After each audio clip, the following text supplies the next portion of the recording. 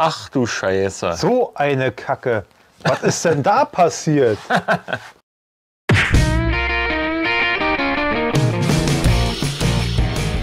Willkommen zu einer neuen Folge von den Testoleros.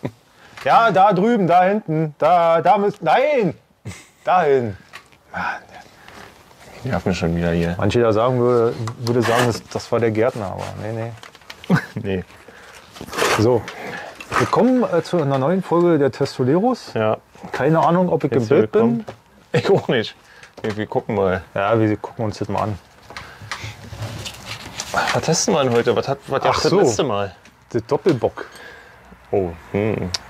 Ganz feine Zeug. Ja. Guckt es euch an. Hat Bronze bekommen insgesamt. Ja, aber unser erster Livestream. Genau, unser erster Livestream. Ja. Ja, Zieht euch das rein. Ja, aber dann jetzt. ist das fein. Ja. Aber jetzt, äh, jetzt haben wir hier Wernesgrüner 1436er. Ein guter Tropfen. 36er. Landbier. Feinstes Landbier. Freut mich auch schon ein bisschen drauf. Ja. Das Einzige, wo ich so ein bisschen ähm, Bedenken habe, steht unten drin natürlich malzig. Ich hoffe nicht, dass es zu malzig ist. Ich auch nicht. Ich bin Prognose? Kein, ja, Ja. also, äh, also Silber. 1436 war schon immer ein guter Jahrgang. Und äh, Landbier, Landbier, also da bin ich ja immer ein bisschen euphorisch, wenn es ums. Landbier geht. Ich freue mich auch drauf. Ach komm, Silber hier. Ich bin Ja, hab ich Optimist. aufgeschrieben, Silber. Ja, gut. Ja. Okay. So, wie sieht die Pulle aus? Auspacken oder wegpacken, genau. Also, das gefällt mir schon besser wie das Standard Wernesgrüner, weil das äh, Standard Wernesgrüner ist mir zu grün. Das hat jetzt schon bessere Nuancen hier von Getreide und so weiter. Und hier so ein rotes Warnschild.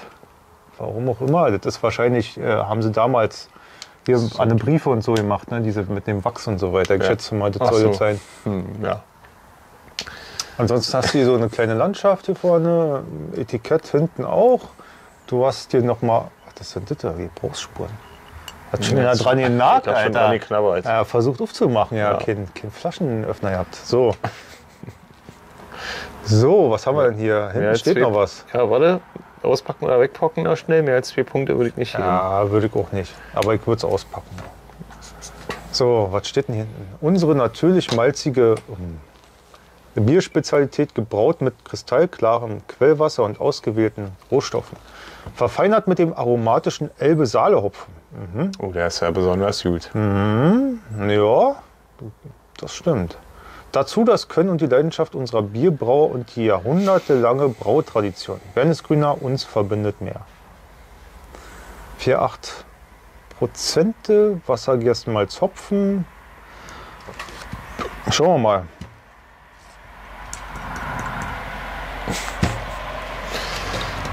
Mal gucken, ob es hilft. Augensucht oder Augenflucht? Ach, machen wir hier mit Thor's Hammer auf, ja? Ja, ja, ich bin würdig. Den kannst du dir hier unten kaufen unter dem Video. In der Beschreibung. Sehr schön. Läuft. Wo läuft's denn hin? Tja, Du kannst ja in mein Glas laufen lassen. Ach, diesmal in deins. Ja, ich Gut. möchte jetzt aus dem Glas trinken. Ich habe festgestellt, aus dem Glas schmeckt das immer viel besser als äh, aus der Pulle. Also, wir gießen jetzt den 1436er in den 1989er. Gut. Hört sich schon mal gut an. Das geht gut rein. Baut sich auf. Hey. Ja, jetzt bist du dran. Mann, ey. Der stellt das immer, der versteckt das hier immer. Ja, volle Punktzahl. Ah, sieht richtig gut aus. Ähm, Bernsteinfarben. Hat einen schönen Schaum, schöne Kohlensäure. Naja. Trotzdem vier Punkte. Ist der denn nicht steif noch oder was? Der Schaum. Also ich finde den Wir haben, super. wir haben ja gelernt, ähm, wenn der Schaum am Glas hängen bleibt, dann äh, bedeutet das, dass das Bier von guter Qualität ist. Bleibt hängen. Aber erstmal jetzt nur ums Aussehen. Ja, das ist ja wieder der Experte. Vier, So, vier Punkte oder was? mich interessiert der Geschmack. Ja, vier Punkte auf jeden Fall. Gut. Gaumenliebe oder Gaumenhiebe, der Geschmack, maximal 15 Punkte. Ah, Ein bisschen abgestanden. sehr würzig. Prost, Leute. Und das Malzige richtig auch, ja. Grüße gehen raus. ja. Mir fällt eine Simmel lang. Schöne Grüße an die Grünen. Hast mir noch glatt was runtergefallen. Äh, wie früher. Ich habe das Gefühl, du nimmst das hier auch nicht so richtig ernst, wenn ich mir deine Klamotten ankicke. Ja? Also, Wieso? Ey, oberhalb top. Was unter dem Tisch passiert, ist doch egal, oder? Sieht doch eh keiner. So.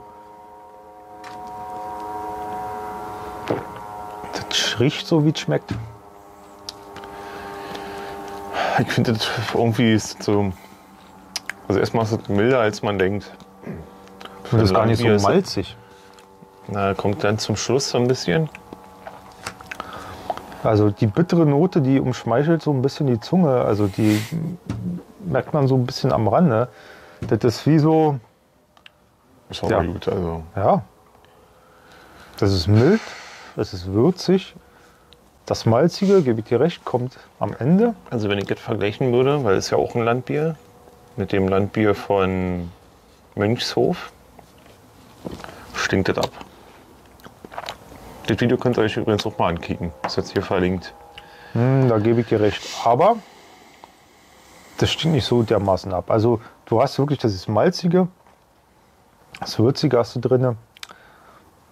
Es, ich habe so ein bisschen das Gefühl, dass es ein bisschen so ein bisschen schwer wiegt. Das ist nicht so ein leichtes Bier, so ein bisschen schweres Bier. Bin ich der Meinung. Aber es ist gut. Also ich finde es hat schon einen Charakter. Ja, ja, Charakter hat das, ja, auf jeden Fall. Ist jetzt kein Wasserzeug. Da ist schon Geschmack drin, Jo. aber es ist unser Geschmack. Das ist wieder eins der Biere, wo ich sagen muss, das ist schön. Acht Punkte, schön. Acht Punkte, schön. Neun Punkte, schön. Ja, wollen wir nicht übertreiben. Also ich werde jetzt nicht morgen in den Laden rennen und mir ihn kaufen. Neun Punkte. Neun, ja. Du sagst acht? Ja. Ich würde zehn sagen. Also sind wir bei neun. Special Points. Mhm. Den Punkt würde ich geben. Das ist schon eine ganz andere Aufmachung als das normale Wernesgrüner. So viel hübscher. Ja. Das war es. Was, was, Ja, ich wüsste jetzt auch nicht, was man da jetzt noch großartig äh, nehmen sollte. Da ist das Standardmäßige drauf. Ja, ein Punkt. steht ja ja nicht drauf, dass dicke Frauen nicht trinken dürfen. Da. Naja, weil die auf dem Land arbeiten. Auch wenn sie schwanger sind. Dann gebären sie das Kind.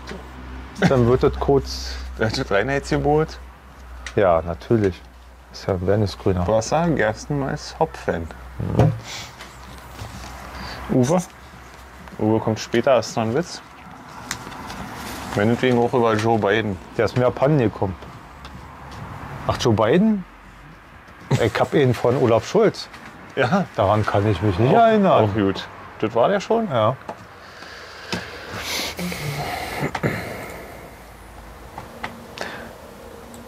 Also irgendwie ist euch mal aufgefallen, irgendwie kommt mir der Olaf Scholz äh, vor wie der Mr. Magoo. Ach ja, auf jeden Fall. Original, könnte der Bruder sein. Oder ist der selber?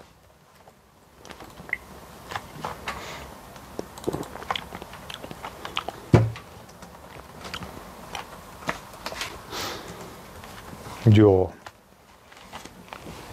Das ist ja kein Witz mehr. Das ist, jetzt, das ist jetzt kein Bier. Nein, nein, das war der Witz. Okay, ein Witz. Warum? Ähm, Wa- Warum, warten, ah, na, erzähl ruhig. warum geht Olaf Scholz nie auf Partys? Weil er schon ohne Tanzen steif ist. Das ist doch eine Scheiße. Verstehe ich, nee. Wir können ja. Wir können ja auch spielen wahr oder falsch. Annalena Baerbock macht keine Versprecher. Wahr oder falsch? Mann, ey. Naja.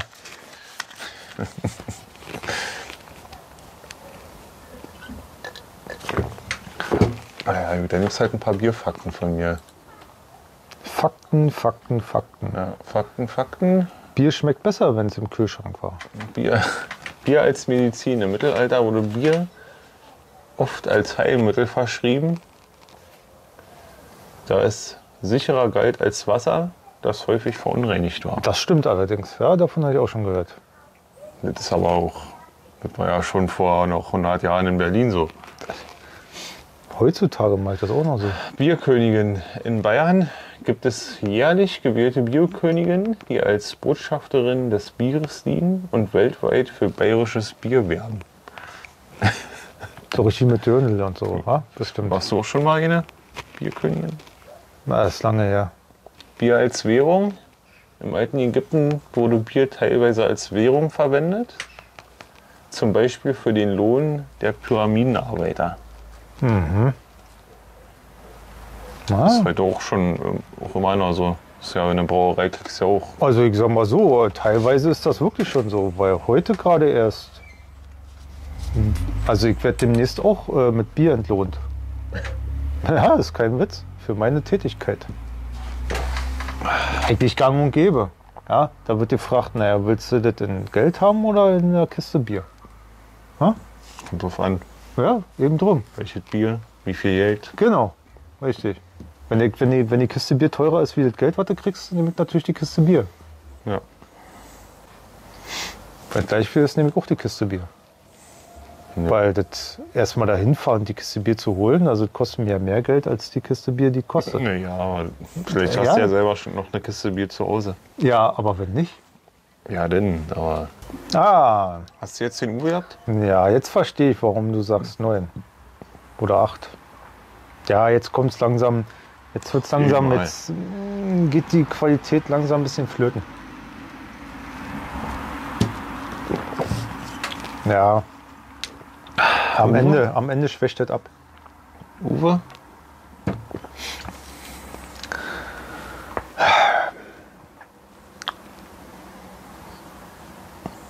Tja, was soll man dazu sagen? Das ist ein halber Uwe. Halber haben wir nicht. Ja, das Bier ist schlechter geworden jetzt mit der Zeit. Komischerweise ist das wirklich jetzt äh, so abgegangen. Also die Kohlensäure ist jetzt raus. Weggefaktor? Nee, muss bloß schneller trinken. Kohlensäure ist jetzt raus.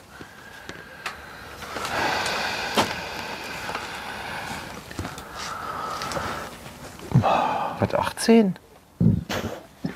Weil es so gut aussieht. 2, 6, 15, 16, 17, 18. Ja. 18 von 30 Punkten müsste Bronze sein. Oh ja, ich glaube ab 19 geht Silber los. Wir gucken. Ja. Ja. Mittel, Mittelklasse, nichts Besonderes, nichts Schlechtes, aber vermutlich Billiges. Weißt du nicht mehr, wa? Ein Bier für gute Kumpel. Genau das Richtige für unerwünschte Gäste. Achso, Nee, warte mal. Bronze, ne? Ja, unerwünschte Gäste deiner Behausung. Gut. Ein Bier für gute Kumpel wäre Silber gewesen. Ein Gebräu für gute Kumpels. Ja. Gut. Ja, also ähm, am Anfang war es gut. Das wurde am Ende schwächer, leider Gottes.